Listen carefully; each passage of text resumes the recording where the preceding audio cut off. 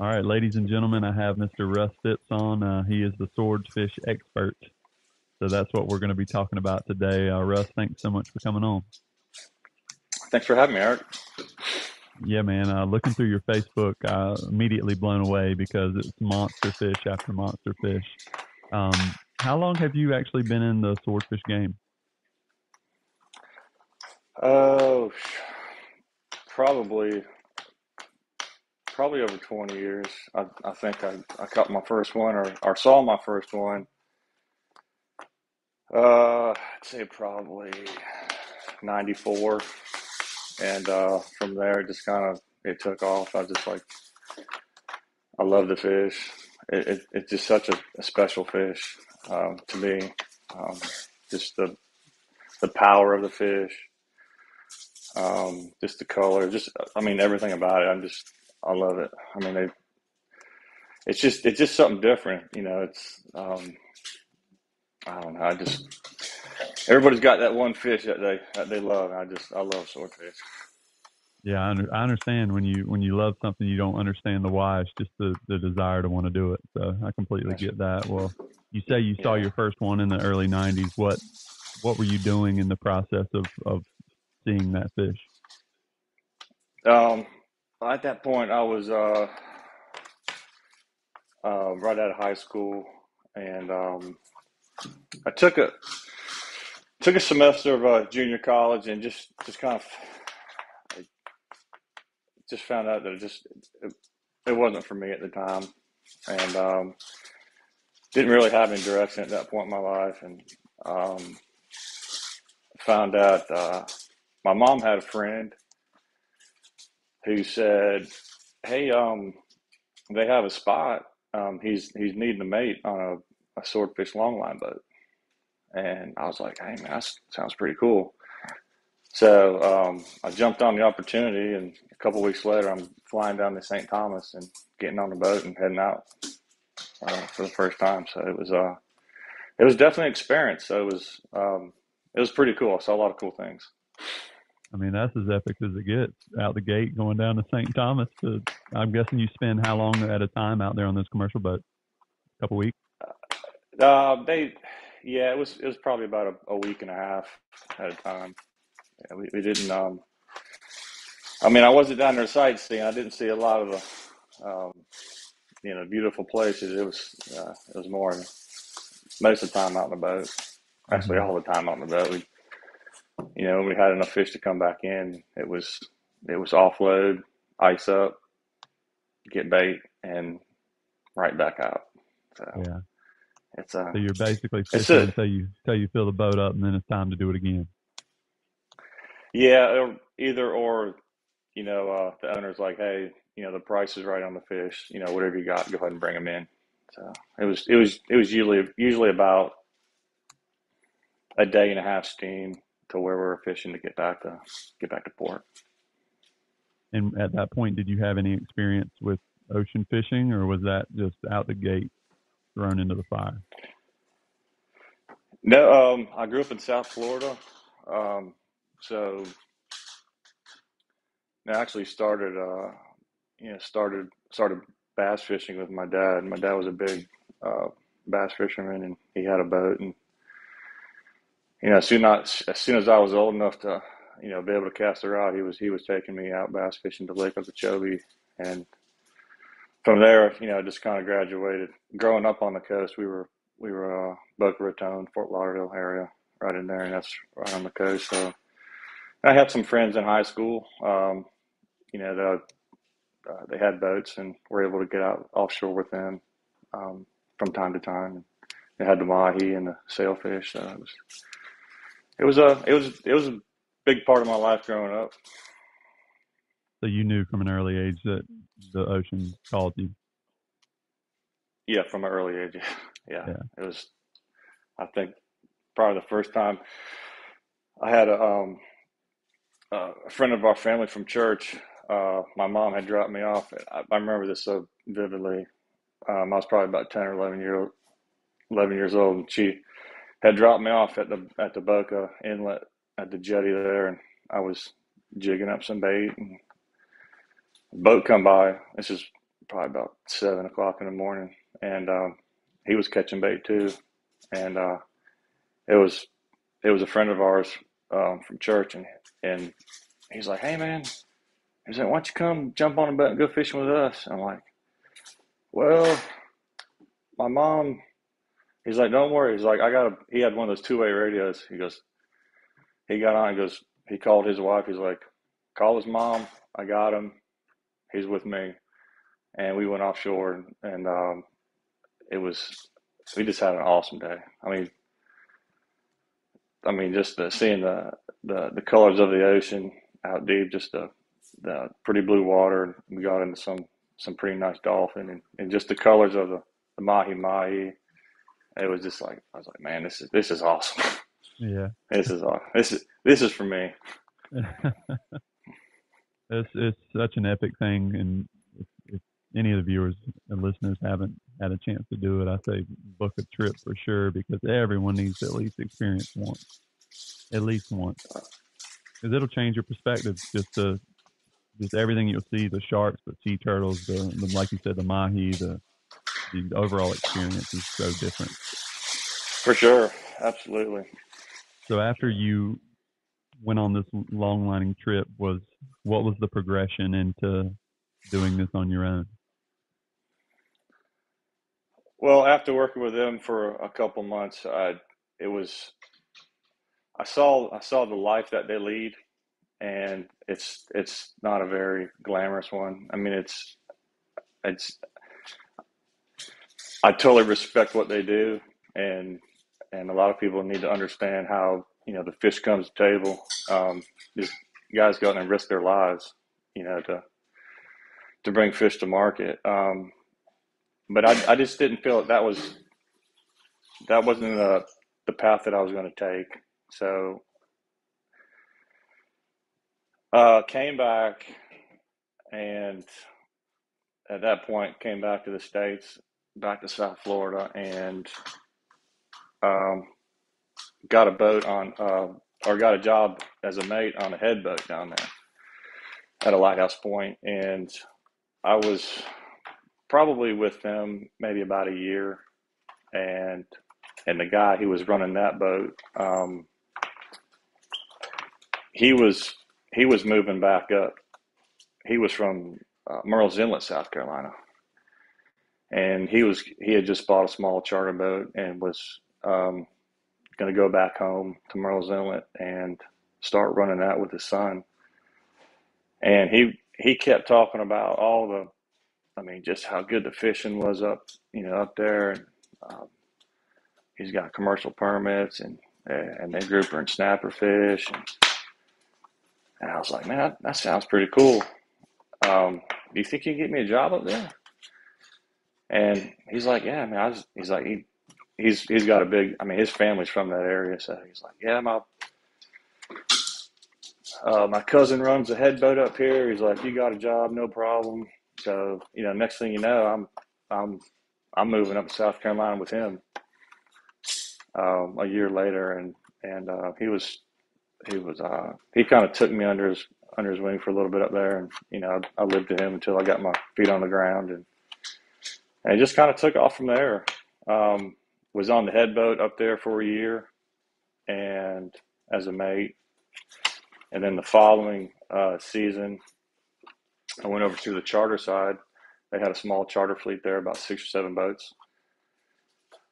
Got a first mate job on one of the charter boats there and did that for a season. And then the very next season, over the winter, I went to sea school, got my 100 ton captain's license. And the next year, I was running a charter boat there. So I moved up through the ranks pretty quick. Yeah. And, you know, um, they're at Captain Dick's Marina it's Crazy Sisters Marina now, but um, yeah, was in was in the was in the charter fleet for I did it probably for about eight years. So uh, I I did uh, did a good bit of fishing down there. So it was mm-hmm. It was it was a good time. Right now?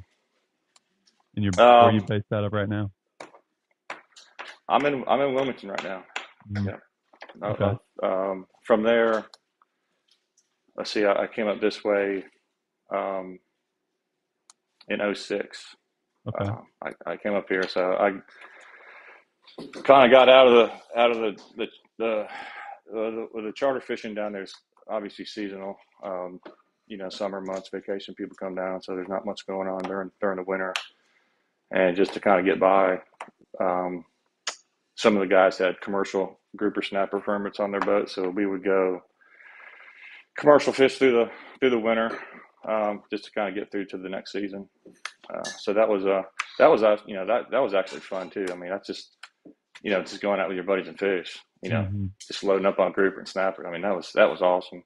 And uh, you know, got uh, you know they were just like day trips. You know, stay stay the night, come back. So and uh, that's that's how we made it through the through the season. And then um, what brought me up this way is um, I just kind of I, kind I wanted to progress and move up the line, and then I got into uh, uh, private uh, private sport fishing boats. So um, uh, got me um, got on a boat up here. That's what brought me up this way. So I was uh, working on a with a family up here in '06 on a 50.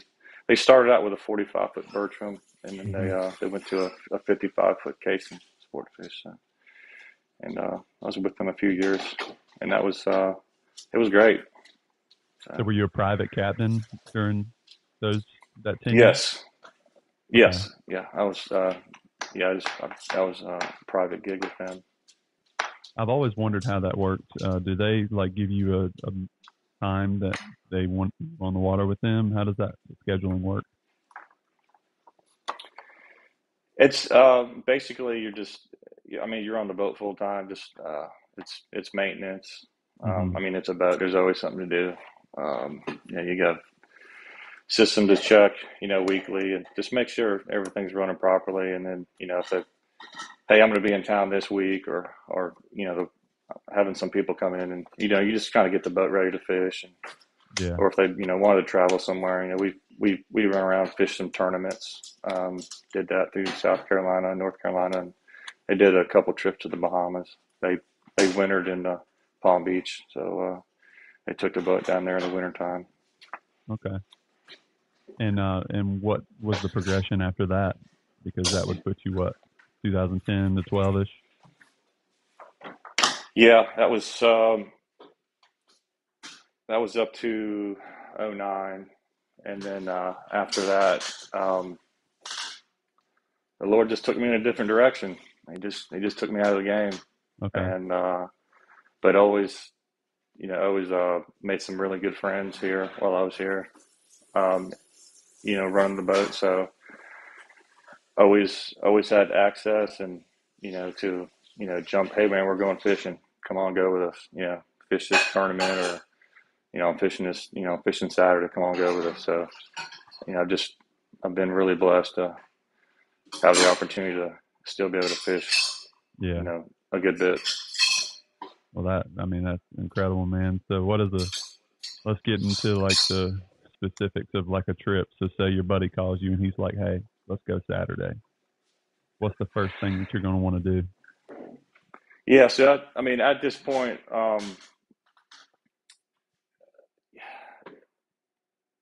right now, it's and I'm and I'm not really I'm not really advertising it, but you know, if somebody, you know, I'm, a couple of weeks ago, somebody had just randomly text me and say, "Hey, man, I'm I'm needing some help going out, you know, sword fishing. We, you know, will you come help me?" And I was like, "Man, I'll, I'll be glad to do it." So, you know, we just, you know, uh, he's like, "Man, coming over and I'll, you know, I've been after it. I think I got everything I need." Um, you know, just kind of went through a list and, and just, you know, went over and checked his gear out and, and just made sure we had everything, you know, ready to go, you know, when, you know, when we had a, a weather window and, and, um, went out there. Let's see, it wasn't, it was two Saturdays ago, I think. And the fish were biting.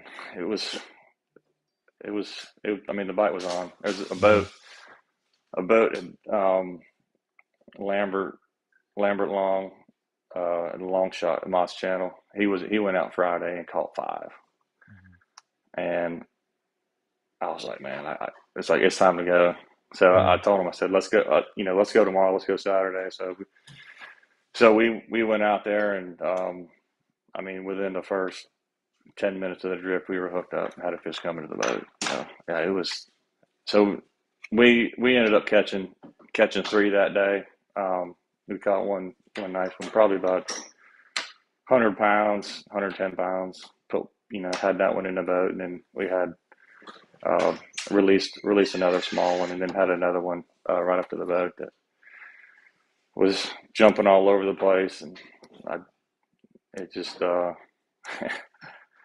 we didn't quite take um, take care of the situation at that moment, and uh, Mhm. and the fish ended up going back down and pulling the hook, but it was it was pretty much a caught fish. He was right there at the leader, Yeah. so ended up with you know had had pulled off another fish, so we you know we ended up you know three for four on the day, which is that's pretty good fishing out here. Yeah.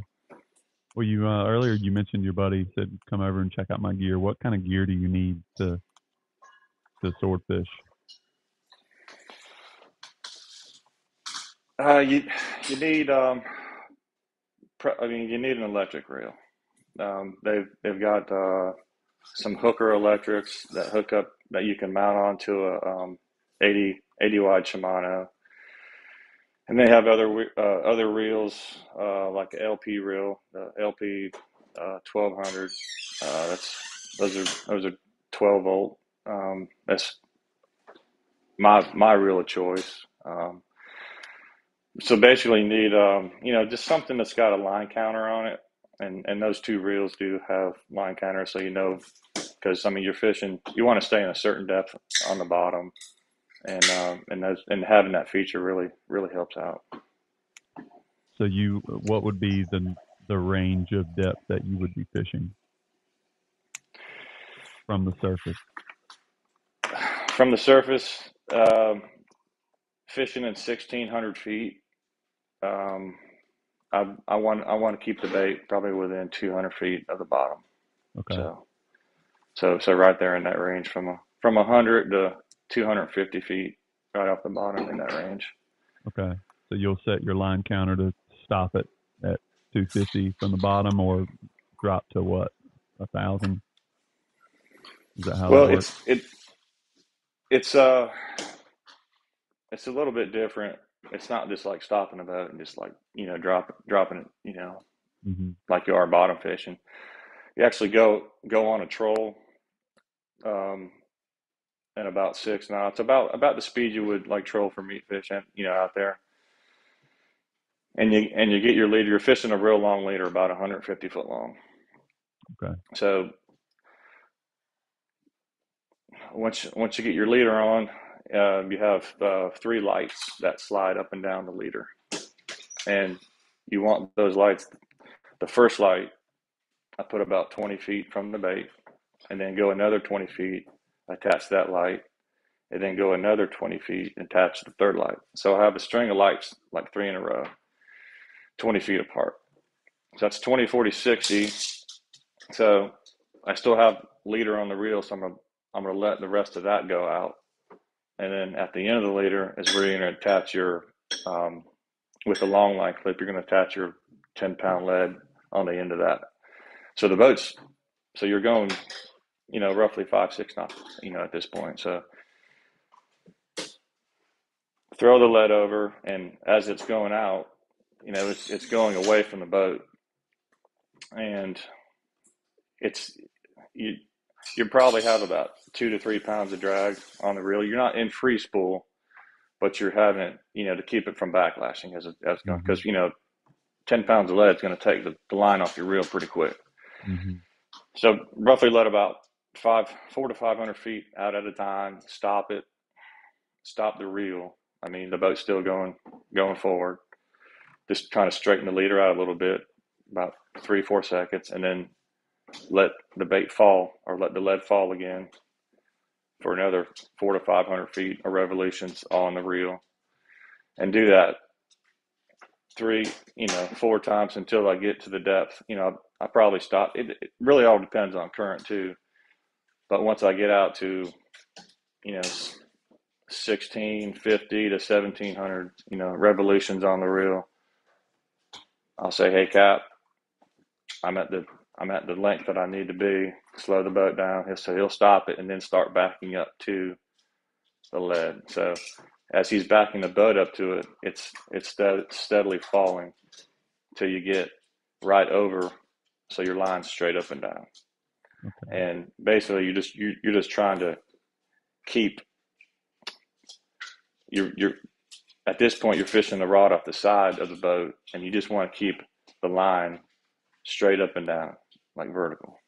So, like if you weren't good, if if you were just to let the boat drift, obviously the boat would get away from, you know, you you can start to see the line scope away from the boat, and you don't want that.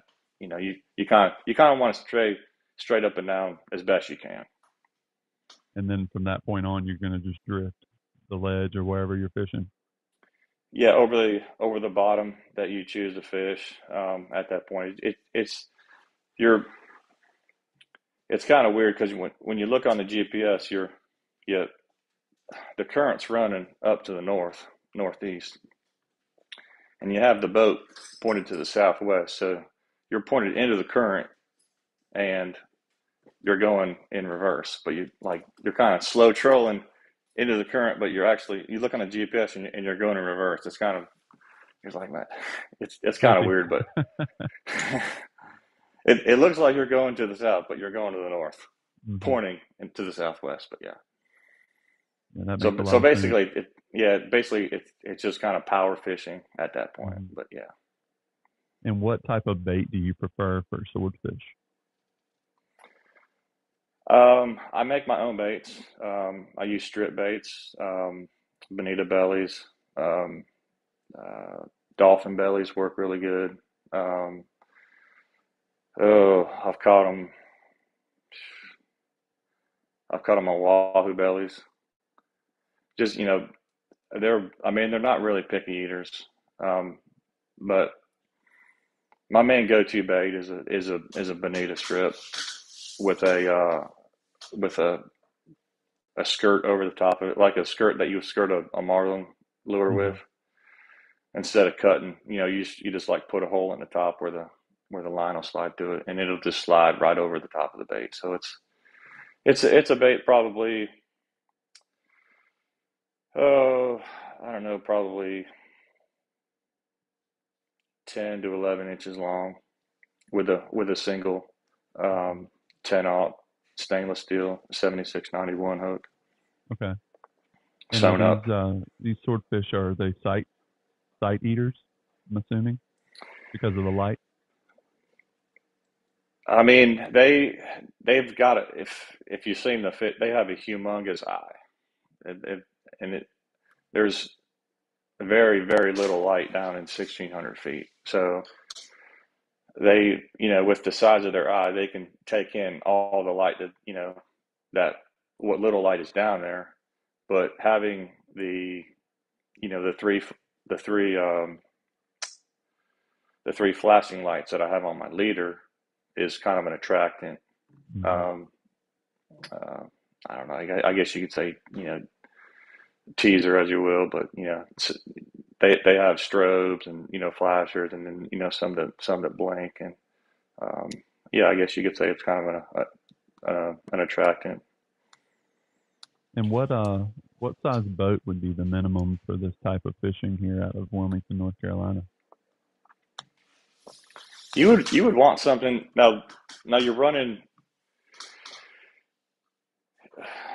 close to 80 miles offshore. So, you know, you, you know, something um, in the in the 30 foot range, center console, 30 35, um, you know, a good size boat, to, you know, that can handle, um, you know, some if some weather happened to kick up, you know, out there that you, you know, wouldn't be in a bad situation in.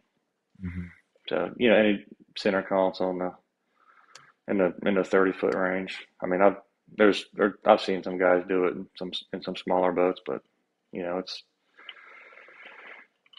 you know, it, you know, sometimes the afternoon Southwest will, you know, kind of whip up a little bit, and it's, you know, it gets a little, it gets a little choppy, you know, coming in, you know, from 80 miles. It's it's a long ride. It, it's a lot better ride on a 35 foot, 40 foot center console than it is on a than a, than a 25.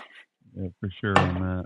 Yeah. Uh, you mentioned earlier that your buddy uh, said let's you know let's go, and you were like, yeah, we got to go. They're catching them.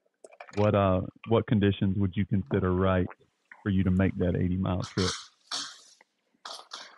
I like I like Southwest breeze. Um, you know, f- probably uh, five five to ten knots out of the Southwest is, is really ideal.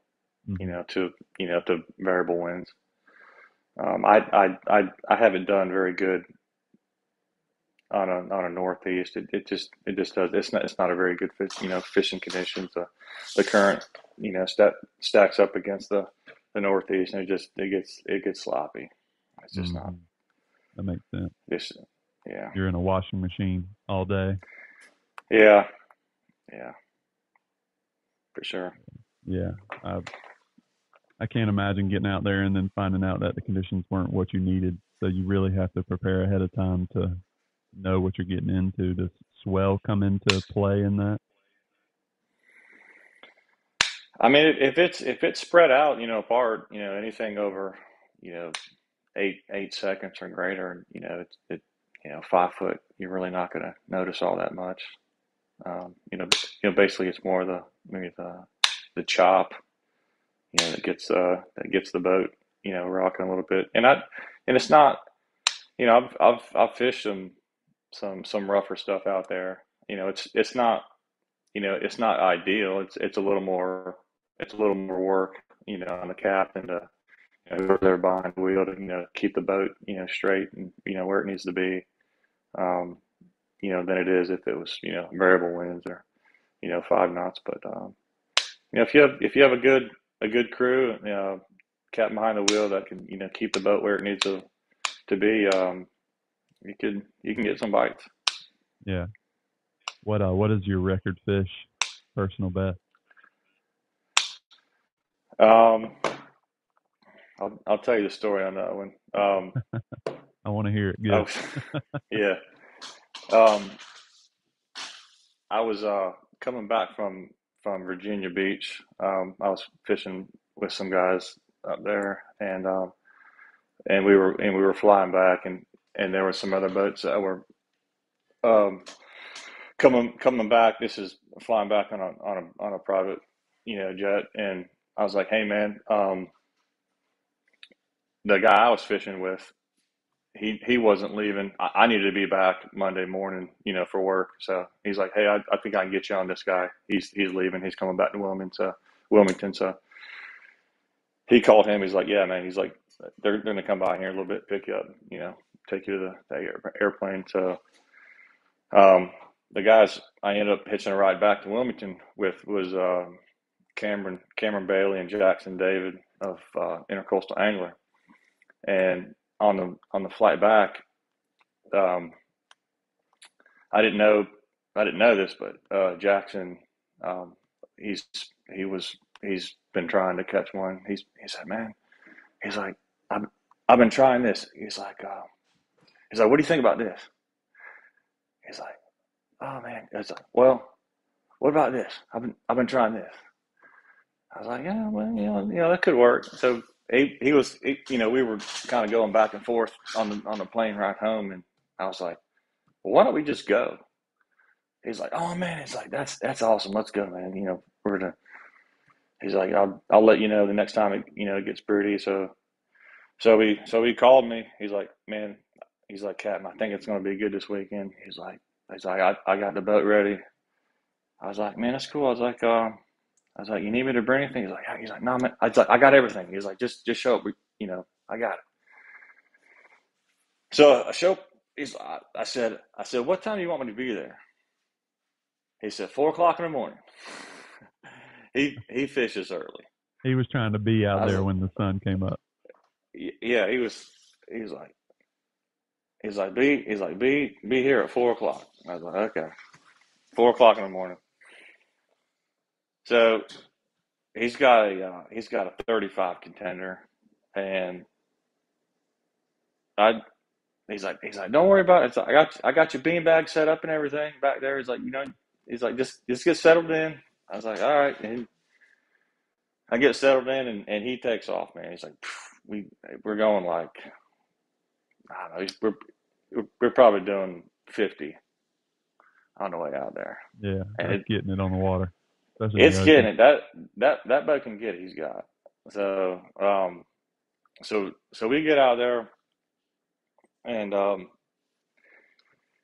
and uh, and and get the line set up, and I think we made a couple drifts, and um, I I I can't remember if we if we had any any bites at that point, and I I think we I think we were setting up for our, our third drift, and as we were we had the line out, and as we were backing up to it, he was backing up to the line as as the lead was sinking.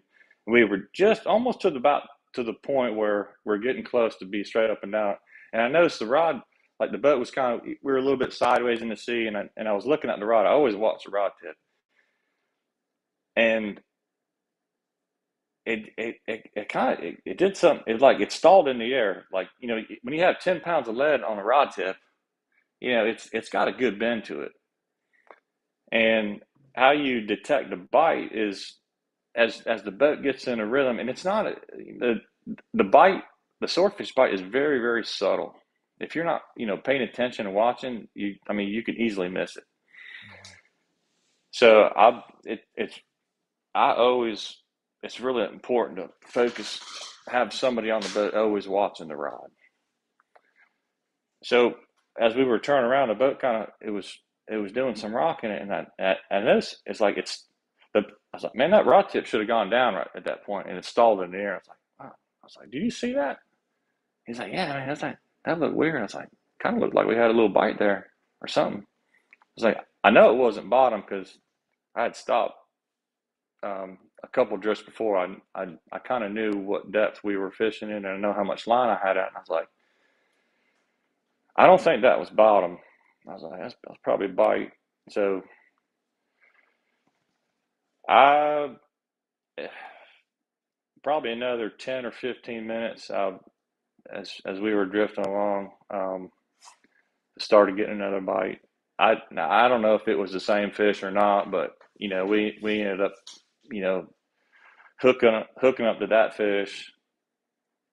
Um, I got hooked up to it, had it coming as I as I put as I put the um a little bit more drag to get the scope out of the um out of the line to get tight on the fish the reel stalled out like so i'm i'm probably at this point 18 pounds of drag and i'm pushing the button and the rock eh, it just like stops mm-hmm. like, i mean the the motor's still going but the reel's not turning yeah so I was like, okay, Cat, we're tight.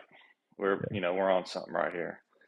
And it was just at that point, it was just it just kind of stalled out. It was like a stalemate, probably for about five minutes. Like it wasn't taking out, and I wasn't gaining anything. Just kind of hanging on the bottom there for a little bit, and then like just after about five five minutes, the fish just slowly started coming up, started coming up, and I was I was getting line, getting line, and most most of the times, um, your bigger fish will start after they bite.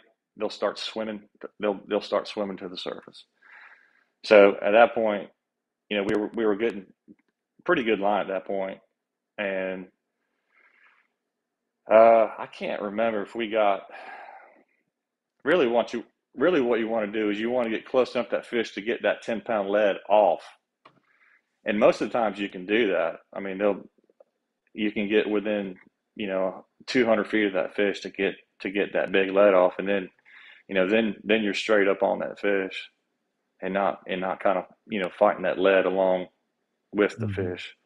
Yeah. And and you got and you got to play the fish a little bit different at that point when when you have the lead on still attached to your leader to when you get the lead off then then you can fight the fish a little bit differently. You, you, know, you can kind of put a little bit more drag on at that point. So I I can't remember if it was 30 or 45 minutes into the fight, I think we got the we finally the lead came up. We got the lead off, and uh, it was it was probably about another hour, close to two hours, in that we actually had to fish up to the boat, and it was it was a nice fish. It just everything we had we had a good captain on the wheel. We had a good guy Jackson that was throwing the harpoon. I mean, you need to close the deal on on on on a big swordfish. You got to have a really good team with you. You got to have guys that you know know how to drive the boat, not mm-hmm. You know be be in the position for somebody to throw the harpoon at the fish, and fish comes up, throws a harpoon, sticks them, bring it. I mean, it was, and all of us were like, "Wow, this this thing is this thing is this is pretty impressive. I mean, I knew. I mean, that was I knew that was that was the biggest fish at that point that I that I that I've caught, and it it ended up being five fifteen as as uh at the scale. Yeah, that's massive. Over at a at at bridge tender. Yeah, it, it took um it took all all three of us with ropes and, and gaffs to. Luckily, he had a um, a door back on his transom to get that, and that thing barely fit through that. I mean, mm-hmm. it it they they have some um, massive girth on them mm-hmm. those fish, and they and they carry that all the way down to the tail. I mean, it's just like, I mean, their tail's like a telephone pole. Well, they're the with, apex I mean, predator down there. I mean, absolutely. It was, uh, and we and we got them. We got them to the boat, and there was, I mean, we were a lot of high fiving and, and hooting and hollering. It was it was uh, it was awesome. It was awesome, and that that was my first time out with Jackson David. That that was our that was our first fishing trip together. I might would retire going, man. Just go ahead and hang it up.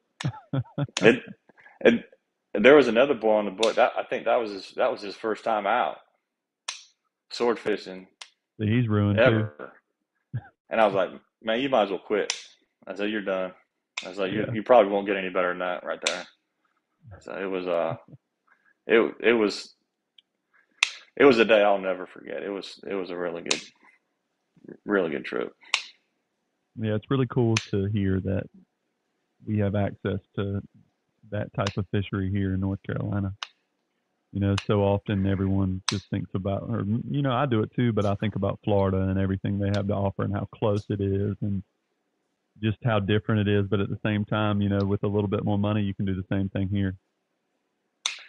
We have a really good fishery out here. Um, a lot. I just, I, I don't think, I don't think people realize the the fisher we have. Like you said, it, it is a little bit further of a run. It's you know, another 15 miles, you know, past the break of where you would wahoo fish. Um, but the fish are there. Uh, and I, I think a lot more people um, would want to get up and go out there and do it. I just, I think there are a lot of people that just don't.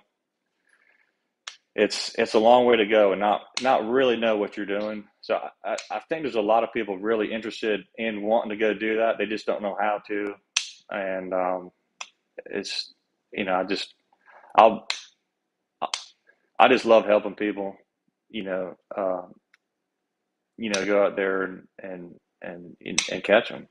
Mm-hmm. Well, if someone had questions for you, what's the best way to ask? Is it through your Facebook? Um, yeah, probably.